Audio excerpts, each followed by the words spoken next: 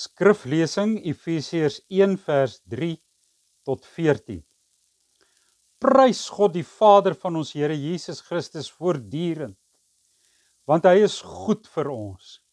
Deur wat Christus gedoen het, het hy ons geseën met elke geestelike seëning wat daar in die hemelsfere is.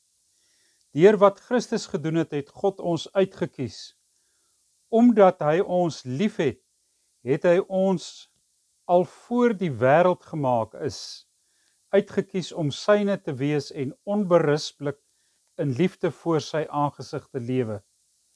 Deur wat Christus gedoen het, het God vooraf besluit om ons as sy kinders aan te neem.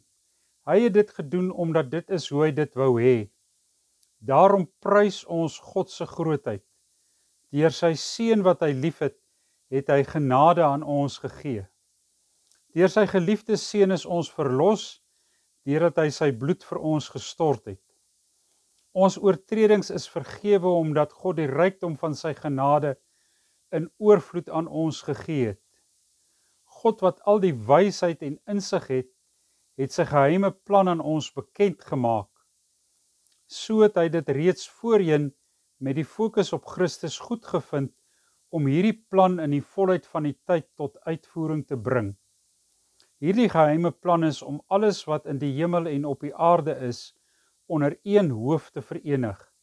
En hierdie hoof is Christus. Deur wat Christus gedoen het, het ons ook deel van God se eie erfdeel geword. Ons was vooraf daartoe bestem. Dit was God se doel.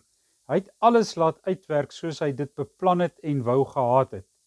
Die gevolg is dat God se grootheid deur ons bestaan verheerlik word.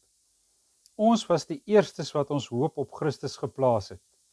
Deur wat Christus gedoen het, het julle ook die waarheid gehoor. Die goeie nuus waardeur julle verlos word. Op grond van wat Christus gedoen het, is julle toe julle tot geloof gekom het tot God se eiendom gemerk deur die Heilige Gees wat God beloof het.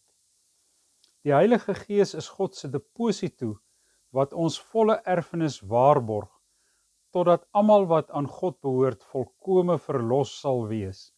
Daarvoor moet ons God se grootheid prys.